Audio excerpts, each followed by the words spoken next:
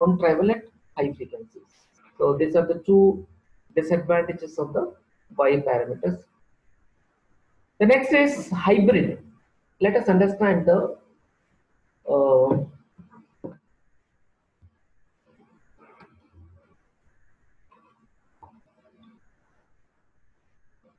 So the next topic is H parameters or can be called as an hybrid parameters. In this network, there are four parameters called the hybrid parameters or H parameters. One is measured in terms of ohm, one is maho, and the other two are dimensionless. Since these parameters have mixed dimensions, so they are called as an hybrid parameters. Because out of the four ports, one is having uh, ohm, the other is maho, the reciprocal of ohm, and the other two dimensions, two parameters doesn't have any dimensions. So it's a mix of ohm, maho, and dimensionless. So that's the reason we can call it as an hybrid parameters. The black box that we can we want to replace with T parameters is shown in below. This, so this is a black box. Uh, V1, V2, same I1, and this is out I, I2 in I2 and out I2. So according to the equations, uh, H11, H12, H21, H22, we have the equations like V1 is equal to H11 into I1 plus H22 into V2 whereas I2 is equal to H21 into I1 plus H22 into V2. If you remember, in the case of first what we considered as Z parameters, the matrix form or the two equations were equal to what?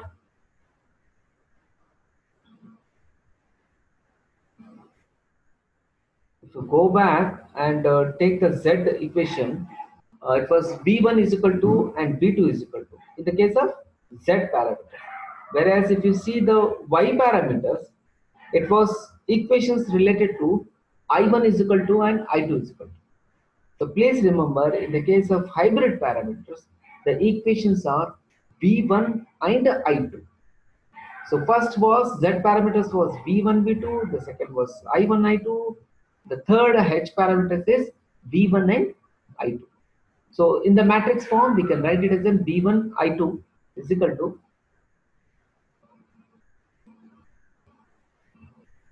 H11 H12 H21 H22 into I1 and V2.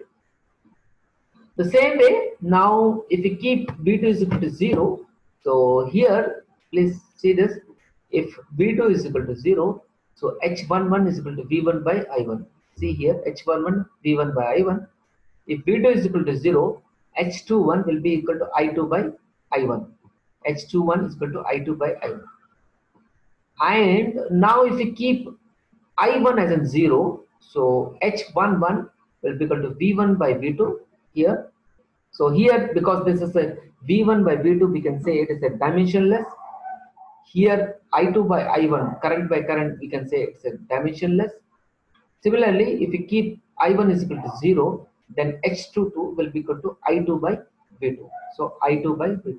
So V by I is nothing but R, resistance. So H11 will have a unit of ohm. H12 and H21 both are dimensionless. H22 is reciprocal of resistance like I2 by V2. So this H22 will have Maho or Siemens. So this is ohm, this is Maho and these two parameters are dimensionless. So we can call this entire as a hybrid parameters or just as an H parameters. So H11 is what? Short circuit input impedance. H12 is open circuit reverse voltage. H21 short circuit forward current gain and H22 is open circuit output admittance. So these are the four parameters, four hybrid parameters uh, labeled in this manner. And if you want to see the equivalent circuit for the hybrid uh, uh, parameters. So this is how it is drawn. Uh, this is an input voltage V1. This is output voltage plus minus, plus minus. Input current I1, output current I2. Okay. This is uh, H1, 1, H1, 2, H21 and H22. So these are the four parameters. This is V1, this is V2, this is I1 and this is I2. So this we can say it is an uh, equivalent circuit for the H parameters. And same as we know the transistor we can use an amplifier. So in the case of transistor as an amplifier, if you want to find out the hybrid parameters, so the same H11, H12, H21, H22, uh, the nomenclature for all these hybrid parameters are different. So it, it, it depends on the common base or whether the transistor is connected in common emitter or common collector. So like for an example, if you take a transistor into a common emitter configuration, then this H11 is replaced by HIE. This is HRE. This is HFE and this is HOE. So for all the parameters, you have a second subscript as an E. So E says that the transistor is into which configuration? Emitter con configuration. But whereas the first subscript in this particular two subscripts was I, R, F, and O. So what does it mean? So this is I stands for input impedance. This R stands for reverse voltage feedback ratio. F stands for forward current transfer ratio and O stands for output admittance. So in nomenclature, in the case of transistors, it will be different like HIE, HRE, HFE and HOE when the transistor is in common emitter configurations. We have certain uh, drawbacks for this particular limitations uh, for the H parameters uh, advantages as well as the uh, disadvantages. Like H parameters approach provides accurate information regarding the current gain, voltage gain, input impedance and output impedance of a transistor amplifier. But the limitations are, it is very difficult to get the exact values of H parameters for a particular transistor because of considerable variations like you have a variation between unit to unit variations or variations due to change in interpretation or or temperature or variation due to change in operating point q point. So because of this considerable variations it is very difficult to get the exact values of h parameters also the h parameters approach gives correct answers for small AC signals. It is because a transistor behaves as a linear device for a small signals only. Now the next parameter called uh, ABCD parameter or it can also be called as an H parameters. Uh, sorry, T parameters. T parameter or ABCD parameter is another set of parameters relates the variables at the input port to those at the output port. The T parameter also called transmission parameters because these parameters are useful in the analysis of transmission lines because they express sending end variables V1 and I1 in terms of receiving end variables V2 and I2. Now the black box that we want to replace with T parameters is shown below.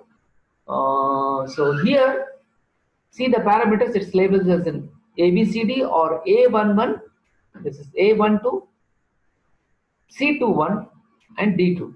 So the equations comes like V1 is equal to a into V2 as this is in the say see see the direction of the current it is in the same direction. So this is opposite to this. This is input and this is output. So this is going away and this is going inside. So here it comes like V1 is equal to AV2 minus BI2 and I1 is equal to CV2 minus DI2. So these are the two equations. In the matrix form, we can write it as an uh, V1 I1 is equal to AB CD into V2 minus I2. If you remember for the hybrid, the equations comes like V1 and I2. Here the equations are V1 and I1.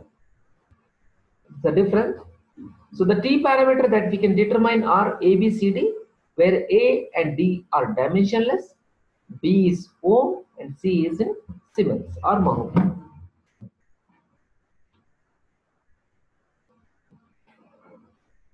The values can be evaluated by setting up I2 is equal to 0. It is nothing but input port open circuit and V2 is equal to 0, output port short circuit. So according to this equation, if you keep uh, V2 is equal to 0 and I2 is equal to 0, you'll get finally A as in V1 by V2, B V1 by I2, C is equal to I1 by V2 and D is equal to I1 by I2. So in terms of the transmission parameter, a network is reciprocal when when AB minus BC is equal to 1. So on this condition, it is reciprocal. So according to the reciprocity, we can prove that in that conditions, that is AB is equal to AB minus BC is equal to 1.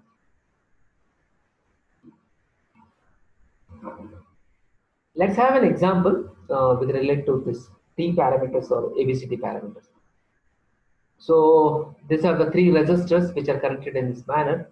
We can say this as a uh, T, T uh, figure. So 2 ohm, 10 ohm, 4 ohm, V1, V2, I1 and I2. Now please find out when uh, I2 is equal to 0.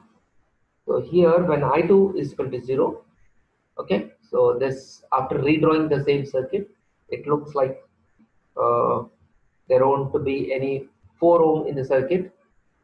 This, this 4 ohm will not be existing when we say that I2 is equal to 0. So if you redraw the circuit, it is into the very simple form. Uh, 2 ohm resistance, 10 ohm resistance, V1 is the voltage input and uh, I1 is uh, input current to the circuit and this is across this we need to find out the V2. So what is V2 now? So V2 is equal to 10 into I1. This is the current flowing through this particular resistor. So V2 should be equal to R into I. So 10 into I1. Here you got it as a 10 into I1. So what is C? Here we have already uh, seen that when I2 is equal to 0, C is equal to I1 by V2. So it's simple. We just substitute the value of V2. This I1 and this I1 will get cancelled. So 1 by 10 is nothing but 0.1 S Siemens. Now please observe this. If you are finding out according to Kirchhoff's law, uh, what is the total voltage? So this, if you find it out, V1 will be equal to this particular voltage plus this voltage, isn't it? So the voltage across this particular resistance should be equal to what? Into I into R. So 2 into I1 is the voltage. We have not labeled particular. So V1 should be equal to 2 into I1 plus the voltages across this resistance V2. So we have an equation saying that V1 is equal to 2 I1 plus V2. From here, what is I1? I1 is nothing but V2 by 10. So just substitute is V2 by 10 plus V2. So if you take V2 common, so V1 it comes like 6 by 5 V2. What is A? When we say that I2 is equal to 0, A is equal to V1 by V2. So we have V1 as well as V2. So these are the two equations V1 and V2. So from here we can easily find out uh, V1 and V2. So this comes like 1.2 as this is a dimensionless A is equal to 1.2 and C is equal to 0.1 Siemens. This is when when we keep as I2 is equal to 0. So when we keep V2 is equal to 0, we can find out the value of B and D. So now here we kept as V2 is equal to 0. This is V2 is equal to 0. We have short circuited this one. Okay, not the current. We have short circuited this one. So there will be three resistance again. This is input voltage V1, current I1. This is the current in this particular branch I2 and these two branches are in opposite direction. So it is adding up and the current flowing through this particular branch, a common branch, will be I1 plus I2. So this is how we have written I1 plus I2. 2 ohm, 4 ohm and 10 ohm. See, before doing any calculations or before doing any constructions or understanding the principle for any circuit diagram, we need to understand how the circuit is connected.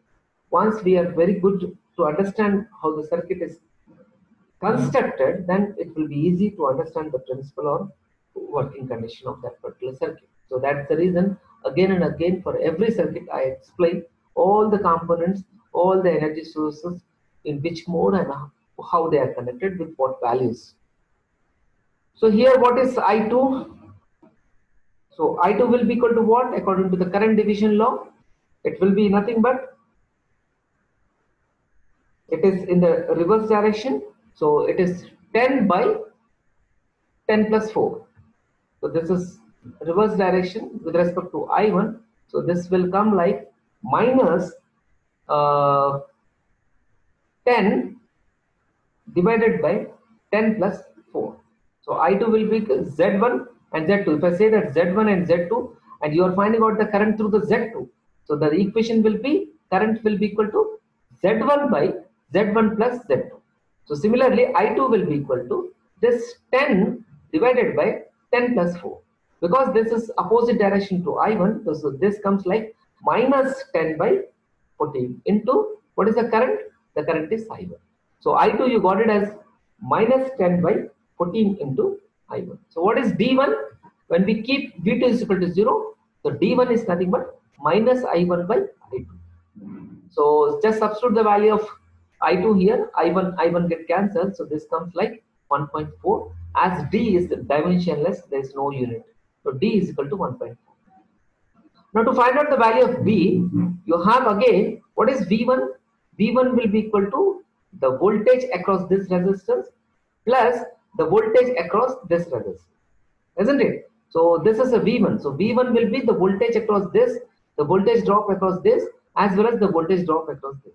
So the voltage drop across this resistance is nothing but 2 into I1. Similarly, voltage drop across this 10 ohm resistance should be equal to 10 into current. So what is the current into this particular common branch? It is I1 into I2. So finally, we can write V1 is equal to 2I1 plus 10 into I1 plus I2. Just do the mathematics. So V1 is equal to 2 plus 10 is 12I1 plus 10I2.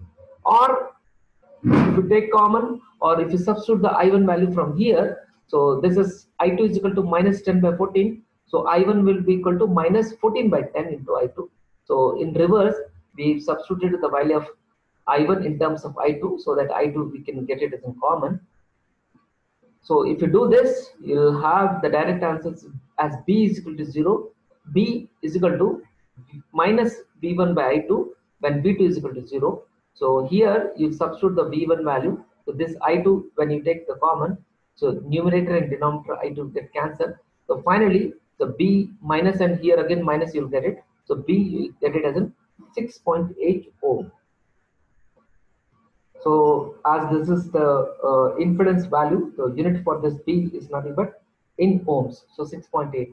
So in matrix form, the T will be equal to uh, 1.2, 6.8, 0.1 and 1.0.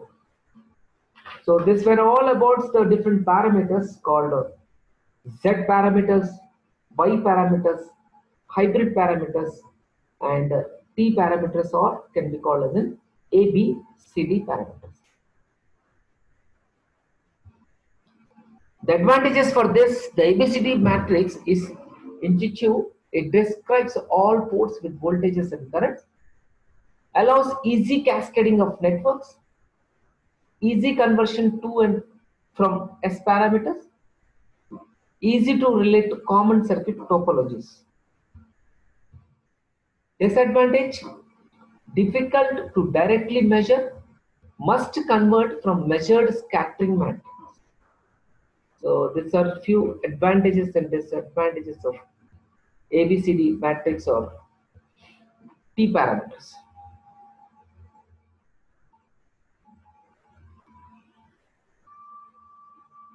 This is equivalent of uh, all the parameter circuit, uh, Z parameters.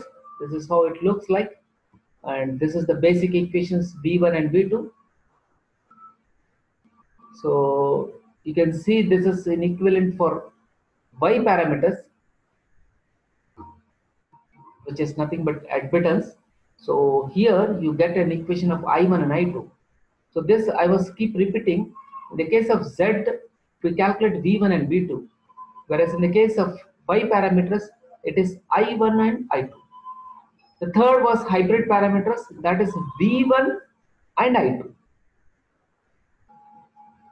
okay and in the case of uh, transmission line parameters the equations are abcd parameters. This is the equation and we cannot have a equivalent circuit in the case of t parameters or it can be called as an abcd parameters.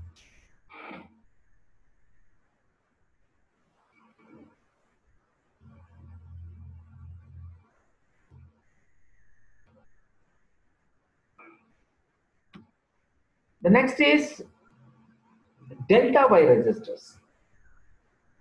We have seen the uh, different linear circuits in the form of pi. It was looking like in pi, or it was looking something like in T transformations. So now we study about the delta Y transformations. The delta Y transformation is an extra technique for transforming certain resistor combinations that cannot be simplified by using usual series and parallel equations. So this is referred as pi t transformation. This situation can often be handled by trying the delta y transformation also. The names delta and y come from the shape of the schematics which resemble the letters. The transformation allows you to replace three resistors in a delta configuration by three resistors in a Y configuration and the other way around. The delta Y drawing style emphasizes these are three terminal configurations. Different number of nodes in two different configurations. Delta has three nodes. If you can see that, this is one, 2 and 3 while y has four nodes one extra. This is one node second node and third node and this is the fourth node. So delta transformation will have three nodes whereas the phi will have the four nodes. The configuration can be redrawn to square up the resistors. This is called pi t configuration. See now how the delta is formed. So this isn't it a schematic looking like a T? Or this is a pi. This is how we write a pi value. And this is how it looks like a T value. Okay. Now the, the same delta, if you see this diagram, can be made into the, uh, the, the, the, pi diagram, can be make into the T uh, delta form. Just consider this resistance and this resistance and this resistance, the base of the both resistance are common, isn't it? So instead of drawing in a pi way, I'll just keep one resistance as it is and I'll just cross this resistance in this manner. Okay. And also this particular resistance, if I say this is RA, RB and RC, I'll keep it as RA as in similar way. Whereas RA, just cross it and RC cross it. So isn't it, it looks like a delta. This is an RA, this is an RB, and this is a RC. So the same pi transformation, we made it into the delta form. Okay. Now we have a T. This is a T configuration. Looks like a T, capital T. So what we do is we keep it this particular node as it is and instead of drawing this particular resistance in a straight manner, we draw it in a this manner. Okay? Like vertical diagonal to the right side. Similarly, this resistance, if I say that this is an R1, R2 and R3. So this R1, instead of drawing straight, I'll just put a finger over here, press it and then just believe that, you know, this resistance in, in this manner, this manner. Okay? Vertically, diagonally vertical, uh, vertical diagonal uh, to the left side. This is vertical diagonal to the right side and this as it is.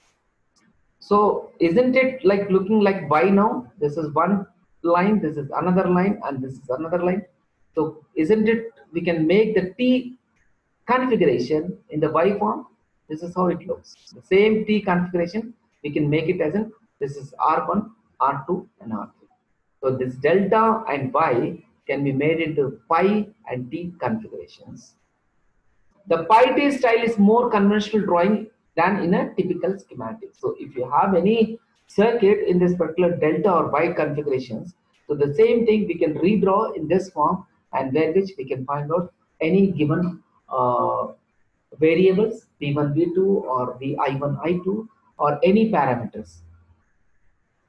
The transformation equation developed next apply to the pi t. Now, how the transformation from delta to y? See, this is a delta and this is a y. So in the case of delta, we labeled this as an RA, RB and RC and this is R1, R2, R3 and as we were saying about the nodes for the delta is 3, 1, X, Y and Z whereas in the case of this there are four nodes, one extra compared to the delta for the Y configurations.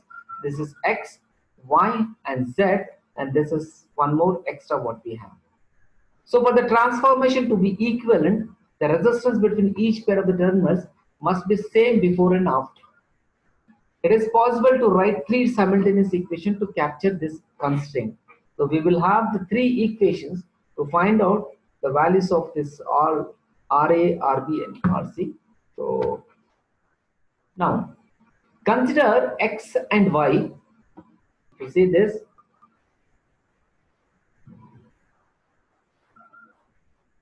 Consider X and Y and for a moment assume terminal Z isn't existing or connected to anything. So the current in R3 is zero. So if you consider only X and Y in case of delta, so if you don't connect anything to Z, it means there is no current through the R3, so it is zero. So in a delta configuration, the resistance between X and Y is RC in parallel with RA plus RB. If you can see this one, this like on the Y side, the resistance between X and Y is in series combination. Please now I'll just go back here to this slide. On the Y side, the resistance between X and Y is the series combination. So series combination in the sense R1 plus R2, assuming terminal Z isn't connected to anything. So R1 and R2 carry the same current and can be considered in series. If we say that this Z is not connected to anything, it means this two resistance R1 and R2 will be in series and the same current is flowing through R1 and R2. Then in that way, then in that way, R1 plus R2 is equal to RC plus RA plus RB divided by RC plus RA plus RB. Now this we have a mistake. Uh, this should be into. So R1 plus R2 should be equal to R1 plus R2 should be equal to R1 plus R2 should be equal to RC into RA plus RB divided by RC plus RA plus RB. So this is our equation. So we can write two similar expressions for the same two pairs. So if you see the for the delta resistors have the letters names RA, RB, RC, etc. And for Y resistors, we have labeled it as an R1, R2, R3, etc. So in that sense, we can have the two equations, or three equations. Now this is uh, delta Y uh, transformation. Uh, the same one we are continuing. The equation for transforming delta network into a Y network. We have an equation saying that R1 is equal to RB RC divided by RA plus RB plus RC. R2 is equal to RA RC divided by RA plus RB plus RC. And R3 is equal to RA into RB divided by RA plus RB plus RC. So transforming delta to Y introduce one additional node because Y have four nodes. This is uh, Y to delta transformation. So for this equation for transforming a Y network into a delta network, uh, directly we are giving the answers. This comes like RA is equal to R1 plus R2 plus R2 R3 plus R3 R1 divided by R1. RB will be equal to same R1 R2 plus R2 R3 plus R3 R1 divided by R2 and RC will be equal to R1 R2 plus R2 R3 plus R3 R1 divided by R3. So transforming from Y to delta removes one node because from 4 to 3 we are going. So here uh, it removes one node whereas transforming delta to Y will have additional node. So this is all about the two port parameters. So with this we have finished up the complete network elements and network theorems. So please watch the previous videos so that you can cover up all these theorems and networks. So thank you one and all on. Thank you for having patience listening again and again. Thank you very much.